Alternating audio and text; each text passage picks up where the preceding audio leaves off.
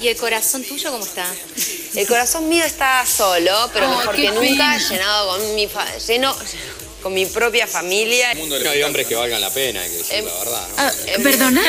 Yo creo que ese es un tema ¿Eh? importante. ¿No te achiques así? Ahí. No hay hombre que valga. Colorado el 12, hoy, ¿no? Colorado. ¿Qué? Colorado, ahí, Colorado el 12. ¿De qué estás hablando? Ya se nos está yendo todo de las manos. Colorado el 12. Bueno, ah, no podés. No podés ser tan atrevido. No ¿Por puede qué? Ah, la tengo al lado, ¿qué querés? No puede ser tan ordinario. Es estoy muy cierto. Ah, está, perdón. Trae a Fagundes entonces la próxima vez si no querés que mire. No, pero bueno, cosa. Yo no puedo creer, estamos hablando en serio le Pero mirás la increíble. Ah, igual, no importa, está bien, Colorado el 12. Bueno, sentate vos acá a ver si... una barbaridad. Más liga El universitaria. fútbol es como más- la música. Hay que jugarlo ocho horas, hay que tocarlo ocho horas. ¿Usted cree que los Beatles porque, porque fueron unos fenómenos? Tocaban ocho horas. Y el jugador de fútbol Pero jugaba ocho horas de fútbol. Sí, Pero no, el jugador de ¿de qué fútbol no puede estudiar. ¿De qué está hablando? Ahora que vamos a ver. Pero no esto estoy de acuerdo con ese discurso. Ahora que Uruguay está entre los tres mejores del mundo en el ranking, cuarto en el campeonato Porque son ingenieros, está lleno de ingenieros, está lleno de ingenieros la selección. Creo que los medios no Sin tienen quererlo, ¿eh? responsabilidad, no toda, por supuesto, ni mucho menos parcial, ¿no tienen responsabilidad también en este clima de violencia? La basura que pasan por la televisión, la apología de la violencia, la apología del consumo, las telenovelas de los narcos, ¿eso no aporta? Estaba leyendo recién un Twitter que llegó a. que le hicieron con copia a Buscadores TV, pretendiendo hacer creer a todos aquellos que leyeran ese Twitter que acá en esta mesa alguien había dicho que la culpa de la violencia que hay en nuestro país la tienen las telenovelas. Una torpeza gigantesca. Una torpeza gigantesca. Nadie dijo eso. La basura ¿Perdona? que pasan por la televisión, la apología de la violencia, la apología del consumo, las telenovelas de los narcos, ¿eso no aporta? Ni No, mucho menos. no importa quién fue el que lo dijo en la mesa, pero no sabiendo quién fue que lo dijo, no se dijo eso, ni se piensa ese disparate.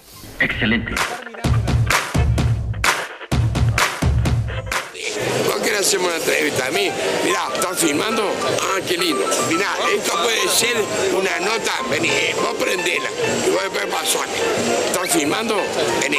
Y es linda porque es la realidad. Te voy a dar la historia de mis últimos años del mundo. Yo fui el primer uruguayo que llegó a Camandú. Maravilloso. Elimina todo, empezar de nuevo. Es lindo porque es realita. No, ¿De qué estás hablando? Moisés fue a fumar un fumo libanés, porque yo viví todas esas tierras, hice cinco viajes a la Hermano. Esto es realmente eh, fantástico, es realmente una maravilla. Que todos estos países dicen que no tienen problema de droga y fuman de los nacimientos. O sea, fuman de la raíz de sus abuelos. Entonces, ¿qué va a eliminar la droga, idiota? Libera la droga. Eso sí, las pastas base, las cosas malas. No, no importa. ¡Ay, qué bueno! Amigos, la senadora Lucía Topolansky relacionó el aumento de delitos violentos con el mayor consumo de pasta base, droga que ingresó, según dijo, en la época del gobierno de Jorge Valle. La senadora del Movimiento de Participación Popular, Lucía Topolansky, se refirió al aumento de la violencia de los hechos delictivos de los últimos días y consideró que están vinculados al consumo y tráfico de drogas. En declaraciones al diario La República, Topolansky dijo que la pasta base que entró a Uruguay durante el gobierno de Jorge Valle, y de eso no hay que olvidarse, es la causa de estos índices delictivos. El expresidente Jorge Valle respondió a los dichos de la senadora Topolansky. La señora senadora Lucía Topolanqui notoriamente delira.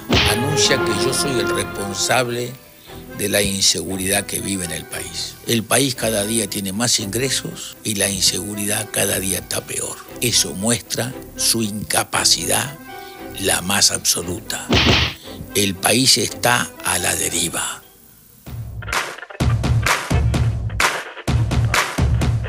¿A quién tenemos? A una madraza, madre por tercera vez. Tiene ahora a unos mellizos tan divinos que son Mauro, Mauro y Julia. Y Julia. Estamos recibiendo a una conductora, informativista, periodista, así, de fuste. Fernanda Cabrera con nosotros. Lo estando desnudo, por ejemplo, así, vos los, los, los, Ahí lo distingo reconocés perfecto, rápidamente. Ale. Sí, sin problema. Y sí, estando desnudos, digo, Mauro y Julia. Ah, bueno, está, no, dije- No, no, yo me voy, vos. Vos que una nena y un varón, una nena y pibe. un varón. Hay que pensar un poquito. O sea, O sea, uno tiene pirulín. ¿Viste? ¿Viste? Estuvo bien, estuvo bien. a trabajar. Y la gente, en poquísimo tiempo, no el año que viene ni dentro de 10 años, va a ver los resultados. Ahora me permito decir una cosa. Si bien el informe inicial eh, me va a matar porque tenía la tanda. Tengo la Vamos a la tanda, tanda, pero después bueno, sigo con esto un poco Ah, más largo. Ya conduce, pero fíjese, Mauro, si será Yo flojo tengo- lo suyo, tengo que tiene que conducir Sí, el programa el jefe tengo órdenes, tengo No, órdenes. esto es una cosa. No, pero termine, termine. Bueno, en el marco de las obras que se realizan para mejorar la calidad de la infraestructura de los centros de enseñanza, hoy se inauguró una nueva escuela de tiempo completo en el bueno! barrio Nuevo Amanecer. ¿Están todos contentos con la nueva escuela? Sí. Conejo. ¿Qué les gusta de la nueva escuela, por ejemplo? Todo. ¡Que